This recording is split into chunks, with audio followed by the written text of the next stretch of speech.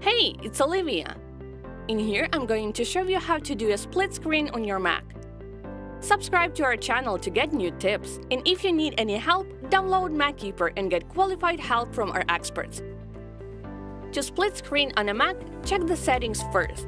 Go to the Apple menu, then System Preferences, then Mission Control. Make sure that the box next to Displays has separate spaces checked. macOS Catalina and macOS Big Sur differ in the sequence of actions required to launch the mode. Here's what you do. For macOS Big Sur and macOS Catalina, look at the top left corner of the window that's currently open, click and hold the green circle with outward-facing arrows. From the menu that appears, select the option Tile Window to right of screen or Tile Window to left of screen.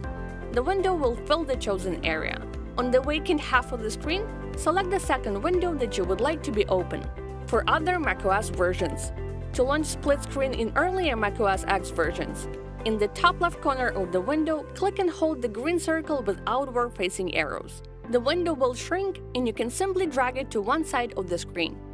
Release the window to attach it to the left or the right side.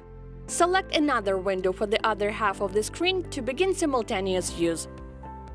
How to use Mission Control on a Mac To launch Mission Control, use one of the following methods.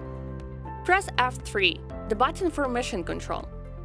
Hold down Control, upwards arrow keys at the same time. Swipe up with 4 or 3 fingers on Magic Trackpad or Multi-Touch. On the surface of the Magic Mouse, click twice with both fingers. Open Launchpad and navigate to Mission Control in the list of apps. If running OS X El Capitan, drag the window to the top side of your screen. Have to adjust split screen view on a Mac.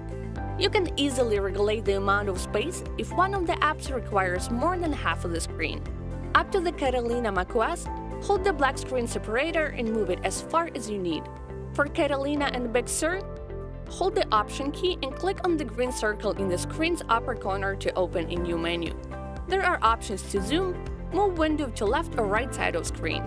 To switch the window's positions, hold the gray upper part of one of the windows and drag it to the opposite side. To zoom in on an object or text in one of the windows, move your thumb and your index fingers apart on the trackpad, an expansion gesture that you would use to zoom in on an image on Mac. To exit the split view mode, Press Escape to return the windows to the normal mode. If the Escape button has a different function in one of the apps, click on the green circle in the top corner of the window to exit one of the apps. That's all.